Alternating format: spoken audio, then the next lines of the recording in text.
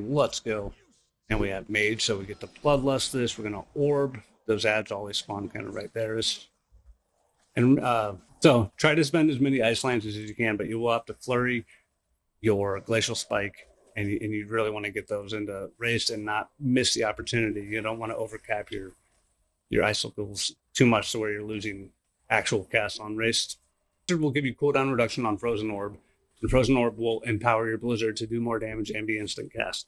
And in that instant cast and do more damage window, you can fit in two Blizzards. When you're lusted, maybe three, right? Um, you know, maybe not even close, but maybe. And to note about your water elemental, we don't like have that as a buddy anymore. He just comes when you icy vein.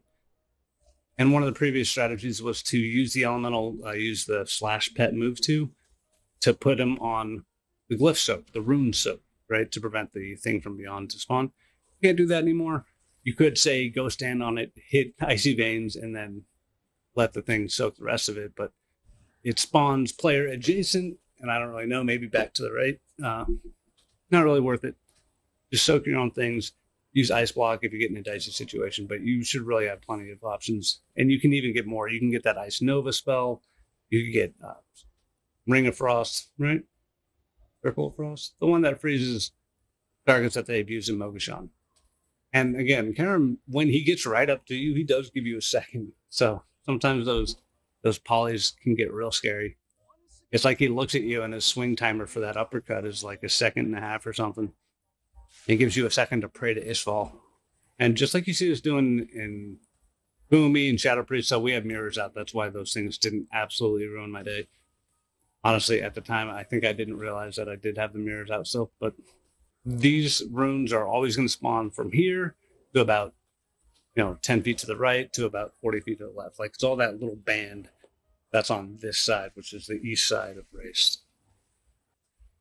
And so here, again, we're not killing Karam, but we're just going to continue CCing him. And you do want to alternate. You don't want to like Nova him and then Nova him again. And then we're not going to have a third Nova, right? But you want to kind of alternate your, your styles of CC. So after I get a full Nova, if he's separated from the pack, you get a poly on him, like a full poly. Is really nice.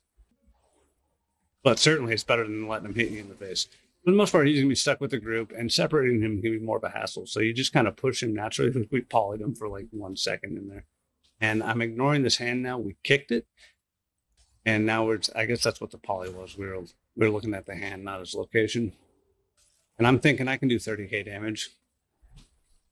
I absolutely cannot do 30k damage for the next cast. So we ice block the cast boom, and then we are out. We have to go soak this hand. I don't even see the hand when I'm doing this. You know, I remember I still don't see it till like right here. Then he's, you can take three melees though. One put me at 35. But that's Frost Mage. I want to thank you guys for watching. Like the video if you like the video. Subscribe if you're not currently subscribed. Subscribed and share this video with any friends that play Warcraft.